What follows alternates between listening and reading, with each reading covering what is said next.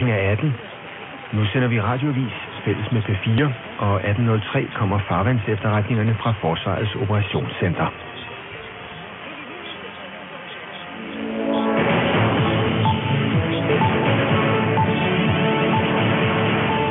En 28-årig mand er blevet anholdt ved et hotel i Disneyland uden for Paris med to skydevåben på sig. Ifølge franske medier bar manden to mindre håndvåben samt patroner og en koran i sin taske, da han blev stoppet af personalet i forbindelse med et sikkerhedstjek. Manden, der har bopæl i Paris, har indtil nu ikke været kendt af hverken politiet eller efterretningstjenesterne. Anholdelsen er bekræftet af det franske indrigsministerium, men ifølge Reuters, så talskvinden i Disneyland ikke yderligere informationer. Frankrig er fortsat i undtagelsestilstand efter angrebene i Paris tilbage i november, hvor 130 personer blev dræbt.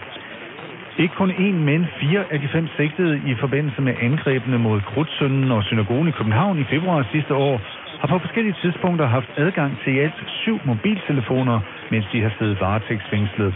Det orienterede justitsminister Søren Pind i dag Folketinget om. Det er klart, det er helt uacceptabelt.